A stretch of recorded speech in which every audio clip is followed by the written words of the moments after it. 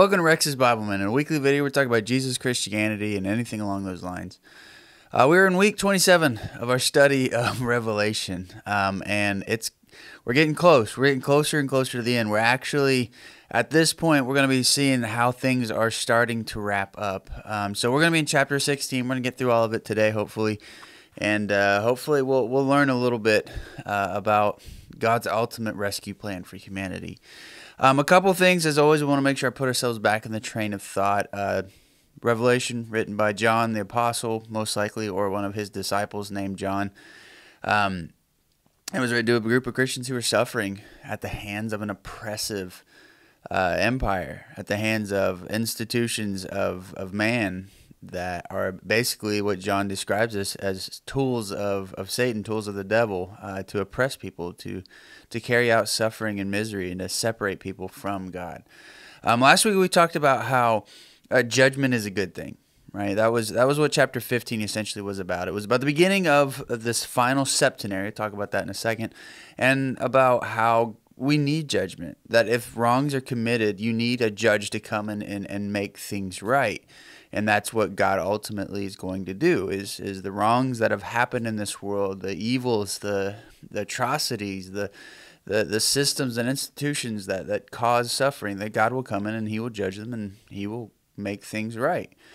So judgment is a good thing. We have to be still in that part of our mind, be thinking that way as we study uh, chapter 16. Um, the last thing is we are now transitioning to the final septenary. So Revelation is written uh, with three what we call septenaries, which is a fancy word for sets of seven. And these are the same vision just from three different angles because there's three different messages communicated for each one.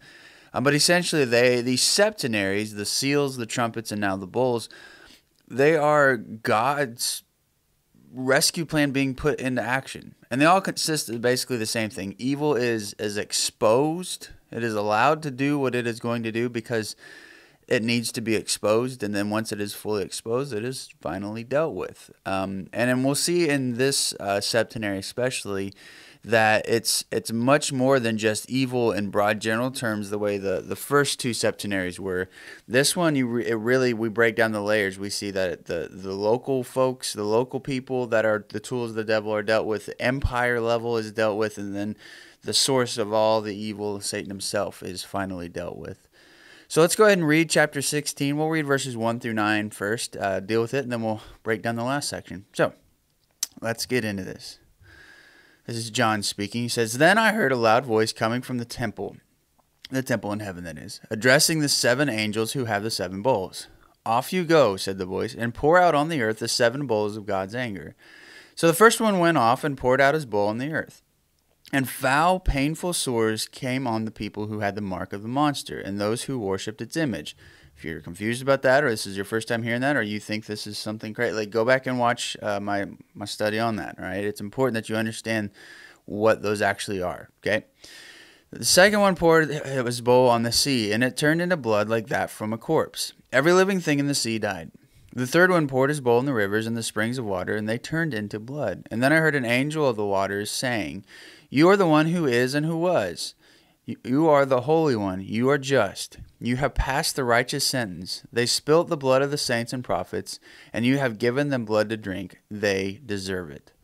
And I heard the altar respond, Yes, Lord God Almighty, your judgments are true and just. Remember the, the, the martyrs that are under the altar from chapter 4 and 5? Then the angel poured his bowl upon the sun, and it was allowed to burn the people with its fire. People were burned up by its great heat, and they cursed the name of God, who had authority over these plagues. They did not repent or give him glory. So we're seeing in these first four bowls, these plagues. Number one, they're they're they're John is is playing off of the, the plagues of Egypt, something that he's done a lot throughout Revelation. Um, but essentially, we're we're seeing wrath here, and we're seeing wrath in a new way, um, kind of the first septenaries, it was a third of the people, or a third of the fish, or it was a portion of this, a, quarter, or a, you know, it was partial. With these, we're seeing everything. It says all the fish in the sea died, all the rivers turned blood, all the springs turned blood. Like there's something different about these bowls. What is the message that is being communicated that's different from the other two? It's that God's work is is complete. It is thorough. But it's also a message about wrath. And it kind of goes hand in hand with that judgment. That's why I made sure I brought up the judgment thing we talked about last week about how the wrath of God uh, when you say it like that, you almost can't help but say like the wrath of God. Like you know, like you, you, you use it. It's been used as a fear tactic and everything else for so long. But the the reality is, the wrath of God has to be severe, or else it has no teeth. Right?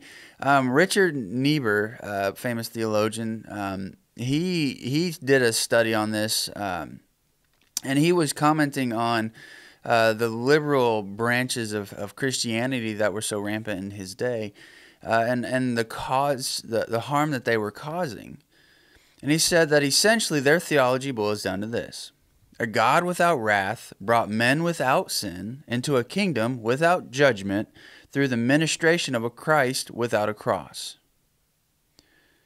See, if you take away the wrath of God, that that there is a hell, that there is a, a, division between God's people and those who aren't God's people. That there is separation there, and that separation is eternal. And what it means to be not part of God's people, what that means you have chosen, what that means you are doing. If if there's no wrath, there's no separation.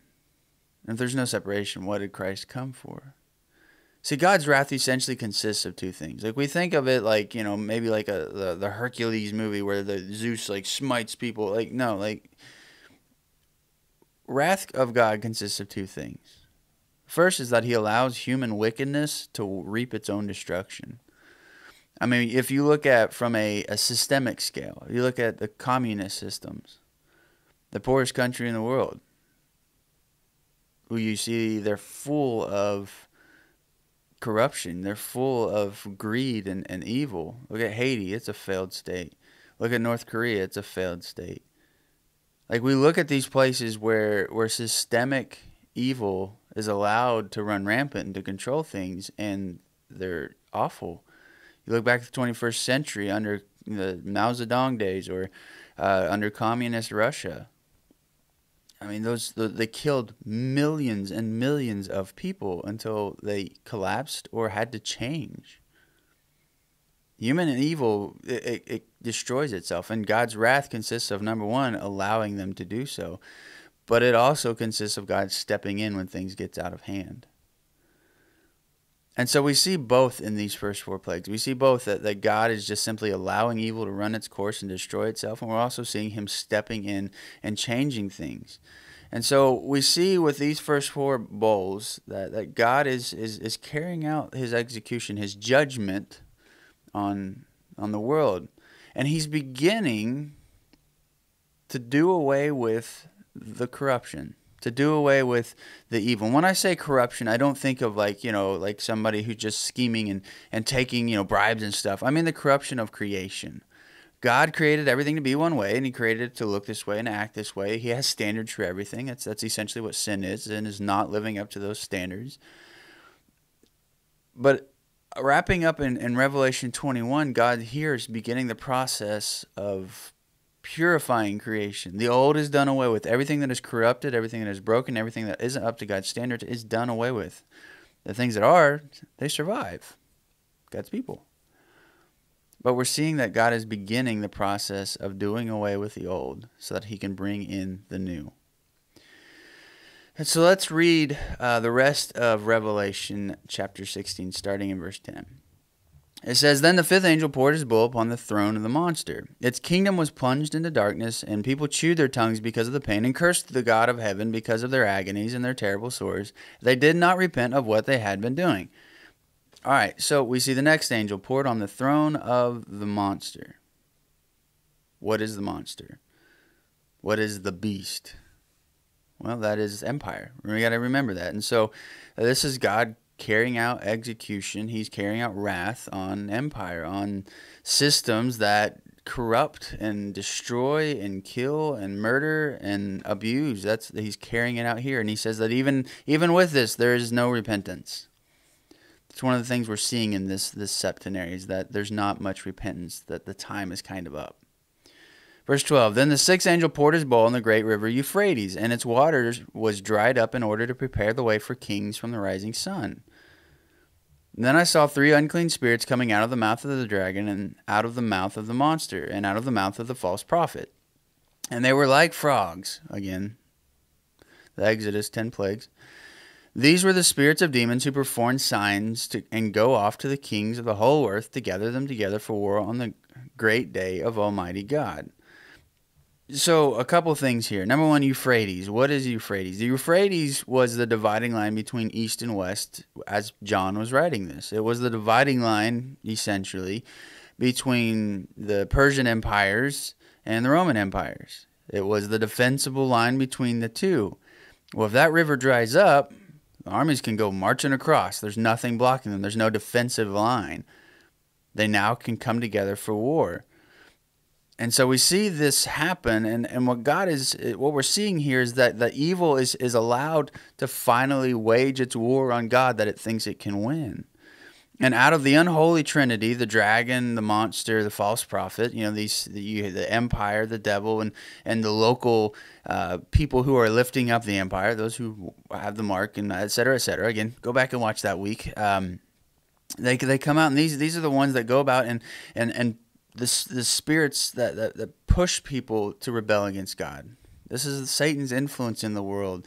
Uh, and again, he, he's pulling on uh, the 10 plagues with it, with it showing them as looking like frogs. I mean, it kind of is like it, think of this like uh, the build up to war, right? Anytime there's a big war, you see the newspapers uh, and well, maybe not so much newspapers anymore, but you see, you know, social media and the news, like people are constantly hopping around, pushing, you know, this opinion or that opinion, and public opinion sways back and forth. Like that, that's what the frogs represent essentially. Is that that that attitude that happens within humanity of the buildup, the the the the, the making your, yourself ready to accept whatever it is, this war. Like you, that's the bad guy. We got to go fight them. That's that's essentially what's happening here.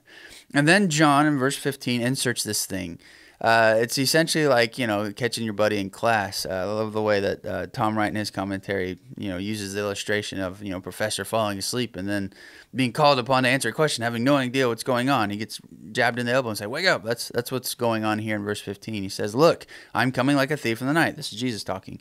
God's blessing on the one who stays awake and those who keep their robes about them, so as not to go around naked and have their shame exposed. I mean, we're getting to the end of Revelation, and at this point, it's like it could be really easy to just be like, yeah, the bad people are going to get it, the good people are going to be saved. But it's like, no, you have to pay attention. You have to stay awake. You can't just be like, yep, we're good. Like, no, you've you've got to you got to stay up on this. You got to stay awake. You got to pay attention. Verse 16, he says, And they gathered the kings together in a place in Hebrew which is called Mount Megiddo. Now, this is one of those things that those who are more of the left behind bent of interpreting Revelation, like, yes, there's going to be one major battle. Mount Megiddo is the symbolic home of war. Um, and, and most people who've studied this know that. But just in case you didn't know, Mount Megiddo is where archaeologists are pretty sure the first major battle in history happened. It's the place where, from ancient times, people were like, "Yeah, that's the that's the place of war, Megiddo." Um, it's in Palestine. Uh, what John is doing is he's drawing out the war between good and evil right? That's what he's showing. He's saying that this war that evil is waging on God, that is continuing on all the way back from when Satan rebelled in heaven and convinced the angels. The war continues on. This is part of that that story. It's continuing that eventually evil will be exposed. It will wage itself. It will rise up and try to wage war against God. It's not meant to be a literal battle because the battle's already won. There's no fight. Jesus already won. He's already conquered. But that won't stop the kings of the earth. That won't stop the people, the empires, the institutions from trying to wage war against God. Verse 17 says Then the seventh angel poured his bowl on the air, and a loud voice came out of the temple from the throne. It is done, said the voice. And there were lightnings and rumblings and thunderclaps and a great earthquake, such as there had never been before. No, not such a great earthquake since the time that humans came on the earth. The great city was split into three parts, and the cities of the nations collapsed. Then Babylon the Great was recalled in the presence of God, so that he could give her up, give her the cup of wine of his anger. Every island fled away; the mountains disappeared. Enormous hailstones, weighing each weighing a hundred pounds, fell from the sky on people, and they cursed God because of the plague of hail and because of the plague was terrible. And so we see the seventh bowl; it is thrown up into the air, which, if you are familiar, you know that that, that is the dwelling place of spirits, right? The ancient reader, the first century reader who would have read this, would have immediately understood that this was being poured out on the realm of the spirits of, of demons, of angels, like that. That's what the the world, their worldview was. That the air was full of spirits constantly. So this is being poured out on their kingdom. As a matter of fact, Satan is called the the prince of the power of the air uh, by Paul. So just that that's that's what's happening here. So essentially, there's judgment on on them. Finally, evil is finally being judged. The wrath of God is being poured out on Satan as well. And then, like we've seen in other places, anytime you see lightning, thunder, that's God. That's God working. God's doing something, right? It goes all the way back to Moses on Mount Sinai lightning, thunder, earthquakes. God's doing something. And then we see the great city split into three parts. What's the great city? Could be Rome, could be Babylon, could be Jerusalem. It's not really the point. Uh, the point is that it is destroyed. And with the great city, what, it, what, I think it's Rome, is simply because what is what is God calling judgment on here? He's calling judgment on Satan, on his monster empire, and on those who support the monster. Well, what is the seat of empire at this point? It's Rome. So uh, I think that it essentially just the city is, is destroyed. That, and again, it's not that it is literally destroyed here. This is evil being allowed to run its course, being called, and then being destroyed. And so we're seeing ultimate turmoil. We're seeing ultimate upheaval. We're seeing everything in every institution completely destroyed. Think back to communist collapse in 1989. Think back to apartheid collapse. Think back to all these different, when evil collapses under its own weight, when evil is finally dealt with, it's upheaval. It is colossal. It is biblical in its scale. And so that gets us to the end of chapter 16. And from here, we're going to start seeing how God finally wraps everything up, how he's going to make all things new. And then we'll see uh, Revelation 21, where we get to see how everything will be. So uh, I'm really excited about this last section of Revelation. It's my favorite part. Um, if you have any questions, reach out. Otherwise, we'll see you next week.